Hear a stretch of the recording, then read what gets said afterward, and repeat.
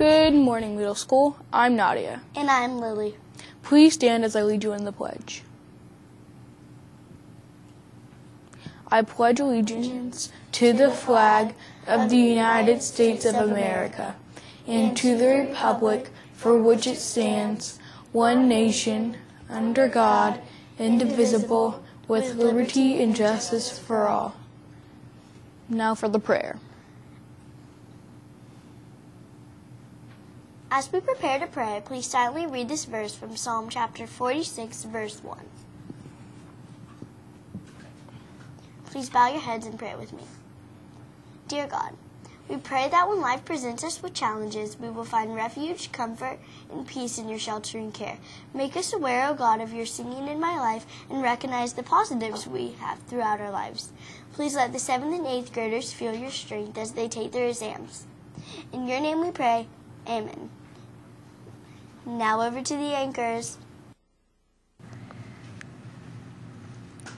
Here are your middle school homeroom announcements for Thursday, May 17th, 2018.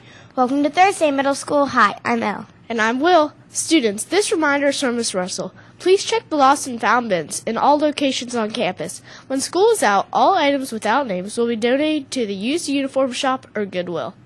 Exams begin tomorrow for the 7th and 8th graders. The entire middle school will have 9 a.m. late arrivals starting tomorrow and all next week. 5th and 6th graders, please remember to be extra quiet when you are going by an exam room. Today's a half day for 7th and 8th graders so they can prepare for their exams. 5th and 6th graders, you will have a full day of classes. You will not have chapel, but you will have testing period to start your day. Our last WWTV broadcast for this year will be tomorrow. After today, we will have announced every student's birthday, even the summer birthdays. So we hope everyone has enjoyed your birthday shout out. Also, remember the special library hours start tomorrow, and they are posted on the doors going into the library.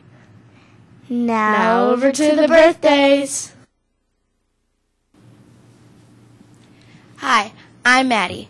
Today we have three August birthdays to announce and one May birthday. Happy birthday to fifth grader Britton Bridgers, who has her birthday today. And an early birthday wish to two sixth graders Libby Wins and Mackie Edwards, and fifth grader Allison Redding, who will have their birthdays on August 22nd. We hope you have a great day and enjoyed your birthday shout out. Now over to the Do You Know question.